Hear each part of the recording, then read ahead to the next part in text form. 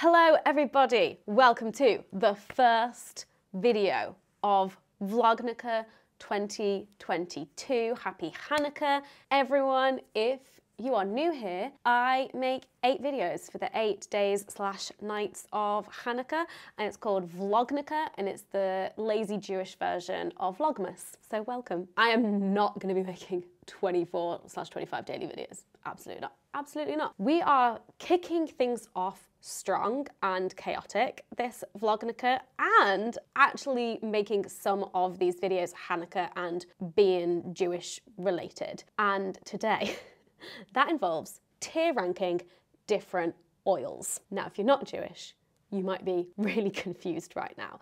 But basically, Hanukkah is the festival of light.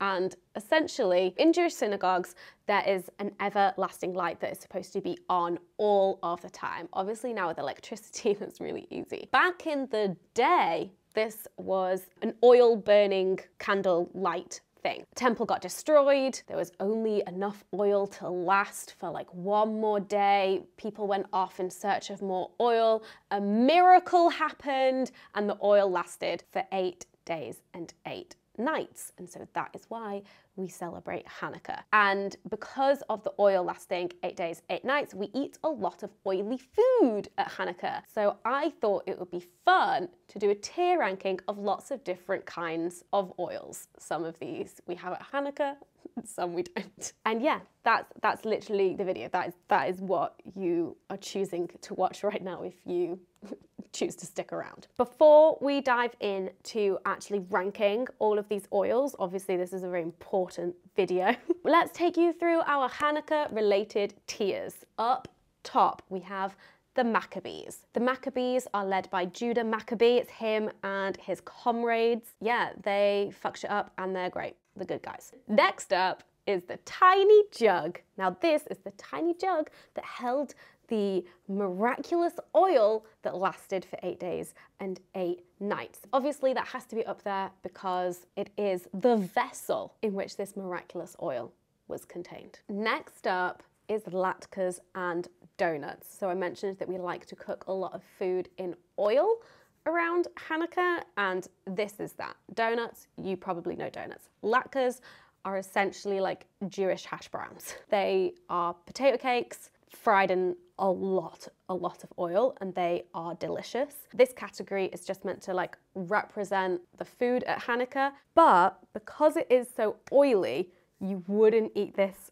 all year round. It is very much special occasion, which is why it's like our third top one and not like top, top, top. Next up, also in the food area is chocolate money.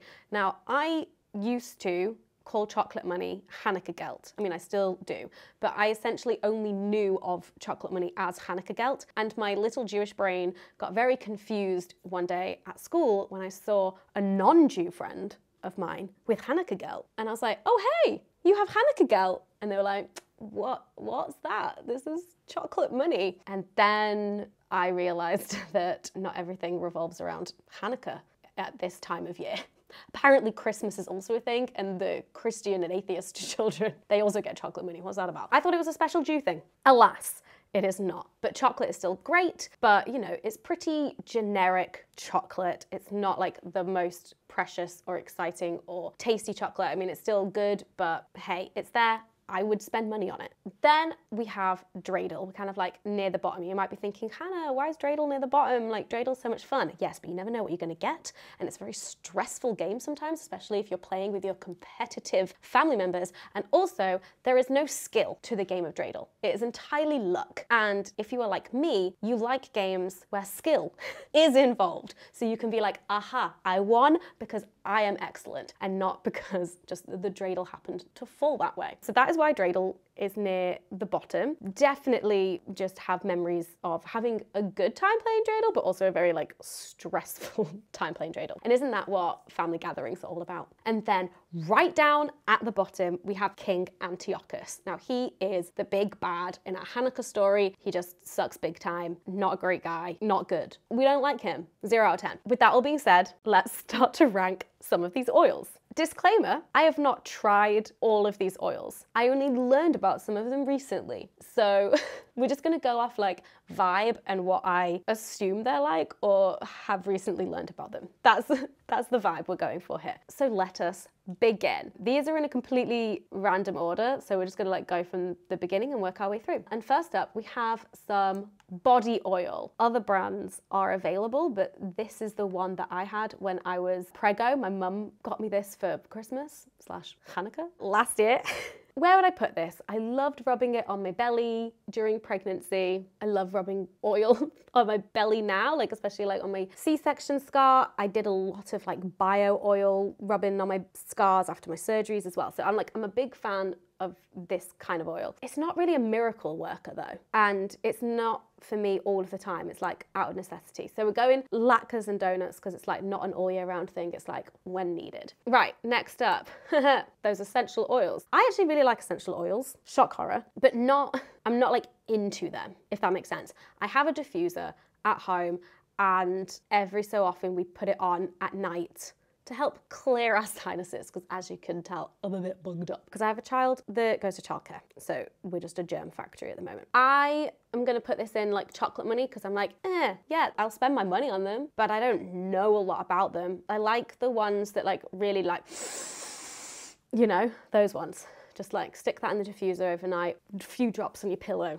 good to go. But all of the other stuff about like what different scents do for you and mean, and I, I have no idea. No idea. Next up, petrol. Petrol is just going straight into King Antiochus because it really is the big bad of our current climate situation, climate crisis. We need a miracle. No, we don't need a miracle. We need collective action from all of us. It, we don't have to wait for a miracle. We can all like do our bit. Blah, blah, blah, blah, blah. Next, WD-40. Is WD-40 a miracle worker? Tiny jug, maybe, for the WD-40? I mean, or like any other mechanical oil? I don't know. Is WD-40 like one of those things where it's like brand name has now replaced like the general name for what it is because it's such an iconic brand name? I don't know. But you know, this thing will stop your things being squeaky, sort out your bike gears, sort out your car engine. I'm saying this like I know what I'm talking about, but we have some WD-40 at home. It's very useful. There, I said it. Next. Oh, this one's the sesame oil. This one's going straight up into the Maccabees. I love sesame oil. Also, like, how did we get this far? Five oils in and we've only just hit cooking oils. But yes, I'm obsessed with sesame oil. It smells so good. Obsessed with food cooked in sesame oil. Like, I don't know, just hits the spot for me. It really hits the spot. Next up, olive oil. I love olive oil. It's not a Maccabee level olive oil, but it's tiny jug. Like, that shit is good for just cooking. It's good for salads. It's good for dipping bread in. It's good for other things. Versatile. We love it. We love olive oil. Also, I love olives. Olive oil doesn't taste like olives though. That's a shame. Although actually, would you want to like cook in like olive vinegar? I will drink olive vinegar though, so I'm not the best person to judge. Next up, coconut oil. For me, I think this goes in chocolate money. That might be controversial because I know there are probably some like coconut oil stands out there. I will pay for it. I will buy it. I don't particularly understand all of the things that you can do with it. When I was in my early 20s, I went through a phase of oil pulling with coconut oil, which is the thing with your teeth. Someone just said that it helped make your teeth white, and then I ended up actually spending 500 quid at my dentist to do the chemically teeth whitener thing.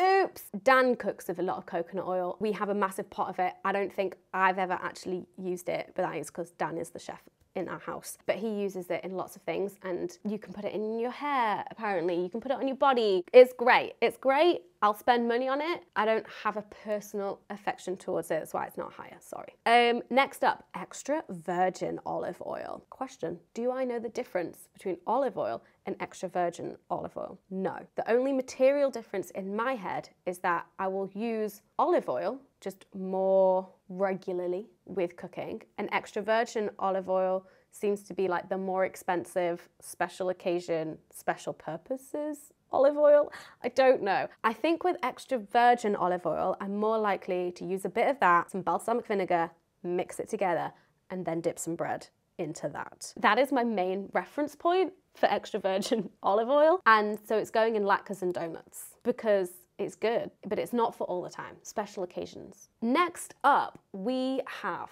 baby oil. Once again, other brands are available. And I think I'm gonna put this in Dreidel. We were given so many like baby bath lotions and potions products before Rowan was born, and they're all just sitting there, not really anything happening with them. Mainly because midwives and health visitors have just been like, you don't need to shampoo your baby's hair, you don't need to like put anything really on their skin.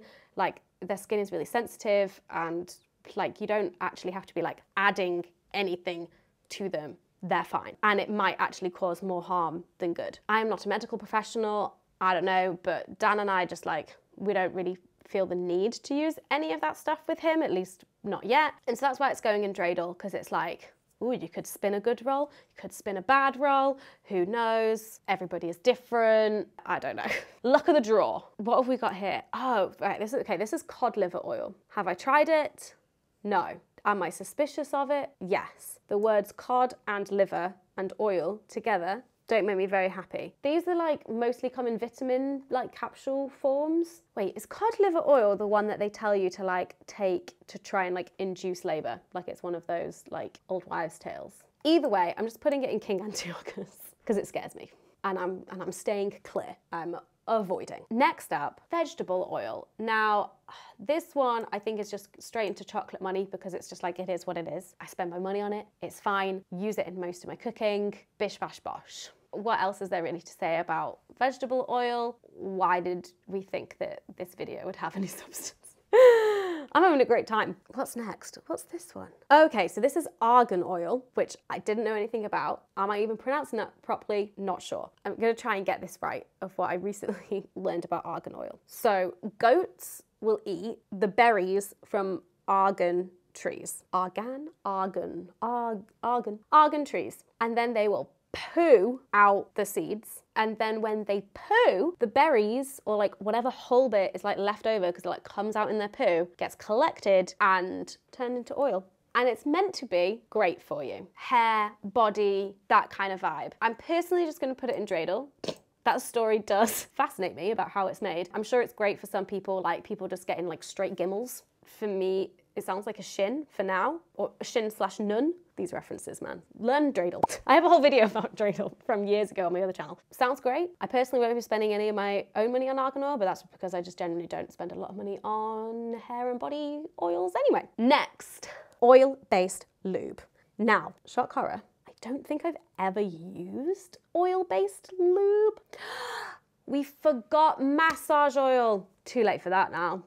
But let's maybe let's combine oil-based lube and massage oil together. Let's just pretend that this is all one thing, which in that case is going up in latkes and donuts, the oil-based lube slash massage oil, because it's like, it's not for all the time, it's not for every day, special occasions, and also please don't use oil-based lubes with condoms because the oil will erode the condoms and break and you don't want that. If you're using a condom as some kind of like safer sex barrier, then that ain't gonna be safer sex with the oil involved. But that's why I've never really dabbled in oil-based lube because I've always been a condom gal, although not anymore. So maybe I should dabble in some oil-based lube, but oil-based lube, oil-based, Olbas oil. I like Olbas oil. Okay, next, Finally, we have CBD oil. Now this is another one that I have not tried. Slightly scares me. Think it might be a fad, maybe like on the cusp of woo woo, but also like cool. And I don't think I'm cool enough to use CBD oil. Also, like, can you use it if you're breastfeeding or pregnant? Also, is it like an essential oil or is it like a body oil or like all of the above? Unknown. I really just wanted to give you my actual thoughts on all of these oils rather than like researching them. I do want to do a video at some point on my sex education channel of like trying different CBD products because there is so much out there in like the sexual wellness industry, like lubes, tampons, other things. So it's like fascinating to me, but it's not something I've tried and I'm a bit scared of it. Where would that put it? I mean, for some people, it could be like tiny jug. Like it could be just like a miracle, a miracle oil for some people. Where would I put it? Would I spend money on it? I probably would. Like I'm gonna put it in chocolate money because I think if I was like gonna be like, okay, I'm gonna try this, I would spend money on it to see what the situation is. So there we have it. There are my rankings of lots of different oils. Do you agree? or disagree. I'm just having a look to see if I like where this ended up. I'm a big fan that sesame oil is just like up top with the Maccabees. I'm happy. Well, I hope that you enjoyed this kickoff to Vlognukah 2022. Make sure that you do subscribe because there is going to be a video tomorrow and the next day and the next day and the next day until there have been eight. I couldn't keep count. I think the last one is coming out either Christmas Day or Boxing Day because Hanukkah and Christmas are overlapping this year. How exciting! I do hope that you enjoyed this very silly slash very important video and I'm really curious to know where you would rank all of these different oils. No, I genuinely do want to know. Thank you for watching. Happy Hanukkah and I will see you in my next video. Bye!